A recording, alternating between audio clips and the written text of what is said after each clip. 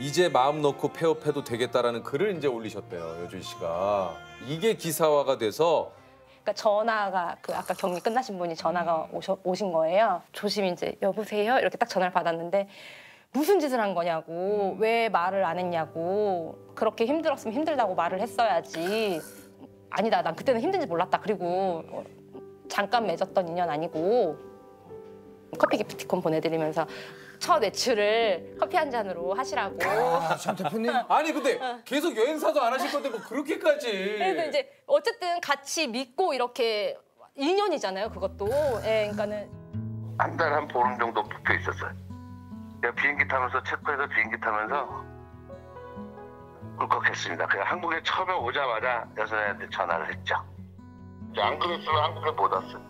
그런 친구가 없죠. 전 자랑하고 다녀요. 이런 사람도 있다고 자랑하고 다녀요. 여행사는 이제 보내는 입장이고 표만 파는 입장이 솔직히 표만 파는 입장이잖아요. 근데 그 정도로 했을 줄 저희도 이제 꿈에도 몰랐죠. 너무 자길처럼 막 계속 새벽같이 계속 문자를 주고 밤늦게도 문자를 주고 받거든요. 너무 고맙고 감사했죠. 우리한테는 영웅이죠. 영, 영웅이죠, 영웅. 진짜 대단한 사람이죠. 그 많은 여행사 중에 딱 저희만 빠져나오게 해줬다는 거. 그거 진짜 영웅이죠, 영웅. 우리 중국에 간 여섯 명이 사장님한테 항상 감사한 마음으로 지내고 있습니다. 감사하다는 말 전해드리겠습니다. 네, 그러면 그 어, 마지막으로 귀국을 하신 그분들을 끝으로 네. 그 여행사는 그쵸. 마지막 네네 그분들이 이제 마지막 손님이었고 후련하다고만 생각을 했었어요.